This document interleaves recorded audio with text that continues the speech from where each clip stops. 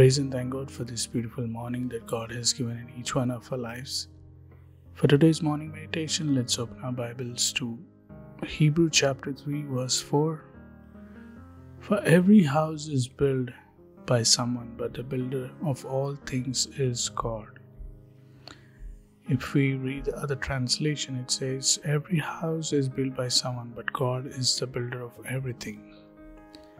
Let's pray. Heavenly Father, we praise and thank you, Lord, for Jesus. Thank you, Lord, for the word.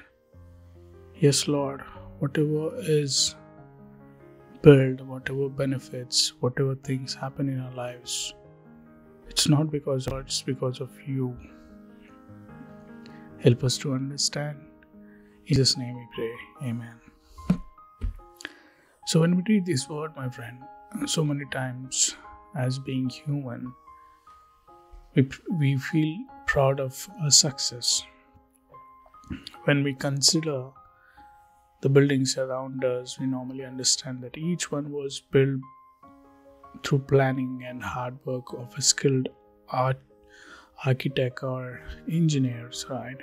This concept also serves as for all creations in life, from relations we build to the dreams we pursue, to the futures we envision. It's human nature to want to claim that we are owners and authors over the things we construct in our lives. But this Bible verse is teaching us today to change our perspective. A reminder that while people may be the architects of physical buildings, it is still God who is the ultimate creator. He's not just creator of physical structures, but of everything in the universe, even our life, our souls, and our, our capacity to create. Whether you believe it or not, all the wonders we see around us and marvels we often take for granted are God's hands work. Right? This humble recognition offers us a great understanding of our own abilities and limitations. It encourages us to rethink our responsibility and place in the great design of everything. As we move through here, this verse, we are not only builders in our own right, but we are using the tools and talents that God has given us. Praise the Lord. When we see Moses, Moses' life. Moses was long considered to be the people's greatest prophet, chosen by God to be the principal administrator of his chosen nation, Israel.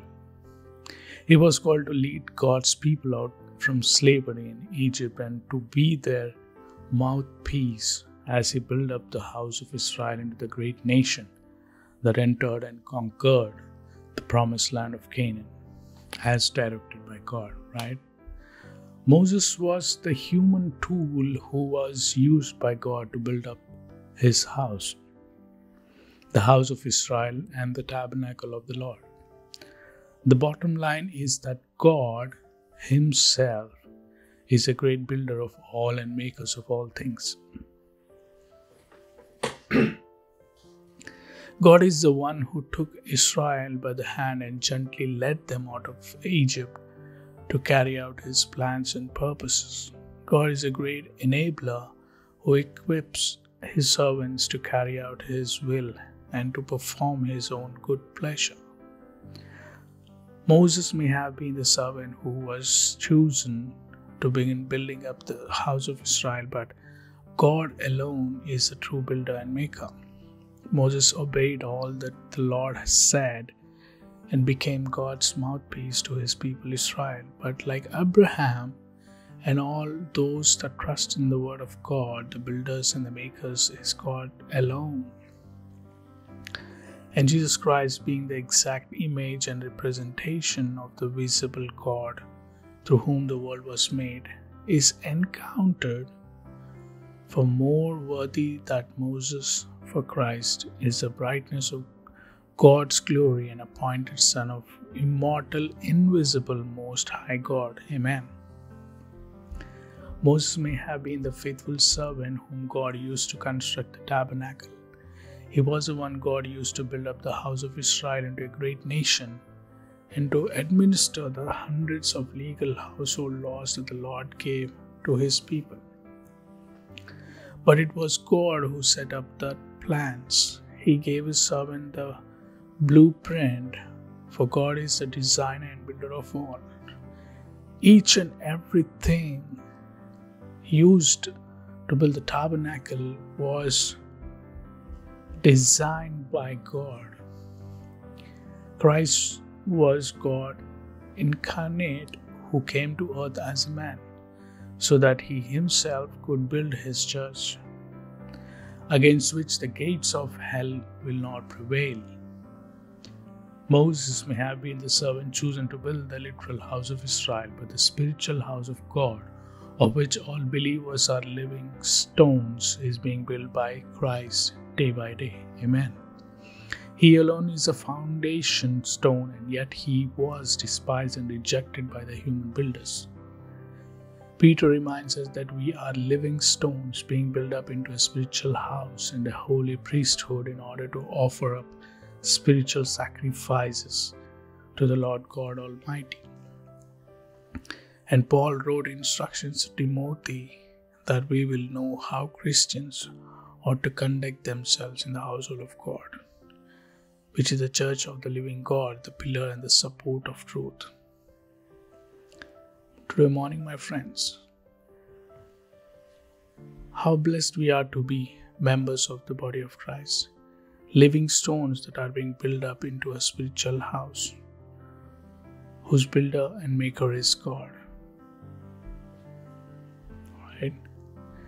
Remember this our Lord is involved not only in the majesty of creation but also in the wonderful events of our lives. He shapes our character, He is molding our souls, and His guiding hands lead us through the trials and victories of our journey in this world.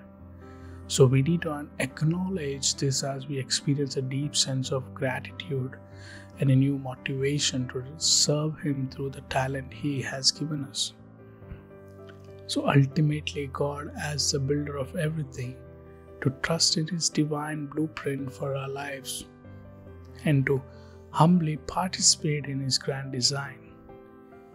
May this Bible verse inspire us to view our daily tasks, our personal goals, and even our life struggles as bricks and mortar in the house that God is building in and through you.